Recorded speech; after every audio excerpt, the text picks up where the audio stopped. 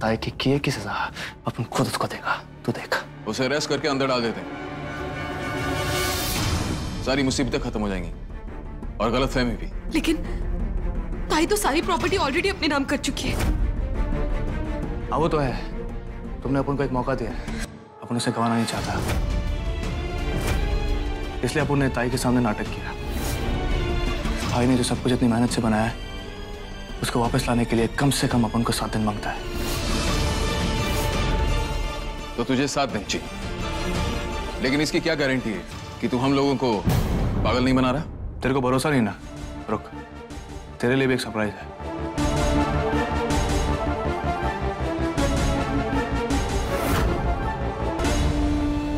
चलना।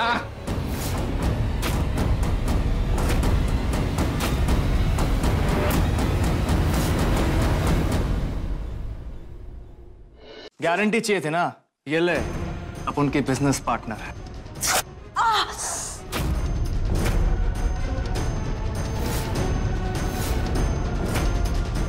गिरा किसको तू जमानत के तौर पे। सच जानती है अपन को आराम से गिरफ़्तार करा सकती है। पर अपन इसको तेरे पास छोड़ के जा रहा है। ये रही अपनी ईमानदारी की सम्मानत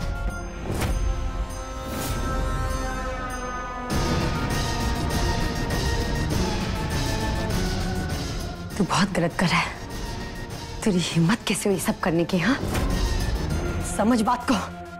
बहुत गलत करा हम लोगों के खिलाफ जाकर। मत कर ऐसा, कृष्णा। तुझे? चुप! चुप! पीछे देख रही है? अपन का भाई है। तेरे को मालूम है, मेरे को आज जाके पता चला कि खून का रिश्ता सबसे गहरा होता है।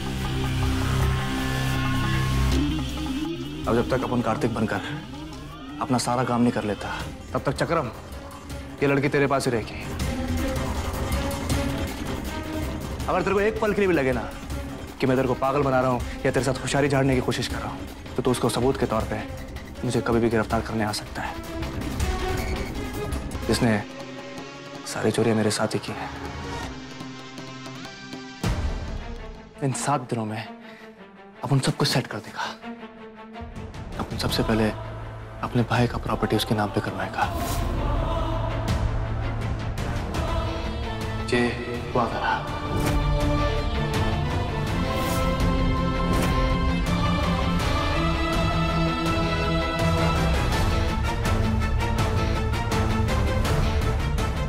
और इन सब में मैं आपकी मदद करूँगी। ये वादा रहा।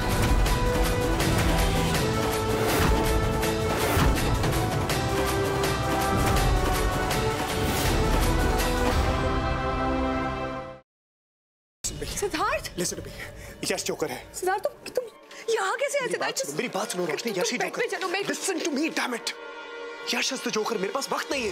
सिद्धार्थ तुम क्या बोल रहे हो? यश मेरा बेस्ट फ्रेंड है सिद्धार्थ वो मेरे बचपन का फ्रेंड है। हाउ कुड इट और तुम कोमा में थे ना? तो ये सब पास वक्त नहीं है। वो सब एक नाटक था। इसलिए क्योंकि मैं चाहता था कि जोकर मेरे पास है और अपनी सच्चाई मेरे सामने रिवील करे और वही हुआ और Yash is the bloody joker हमारे परिवार के साथ अब तक जो कुछ भी हुआ है तुम्हारे ऊपर जानलेवा हमले आयशा की किडनैपिंग सासू मॉम के ऊपर हमले everything has been done by him please मुझे घर तक पहुँचा दो।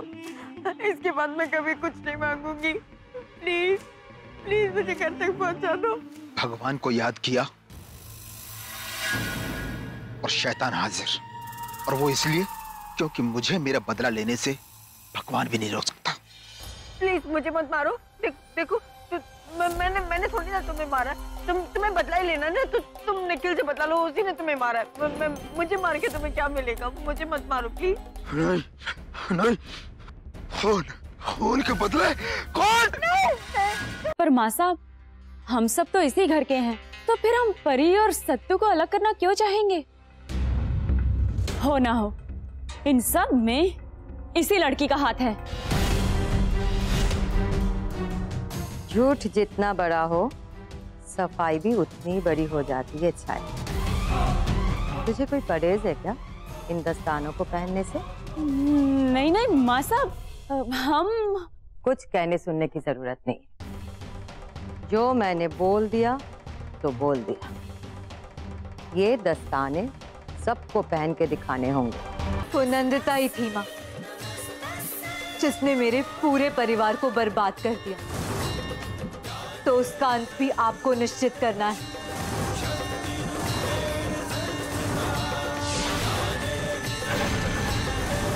जिस तरह इन पापियों का विनाश किया है आपने, उसी तरह नंदिता का भी आज ही विनाश हो जाए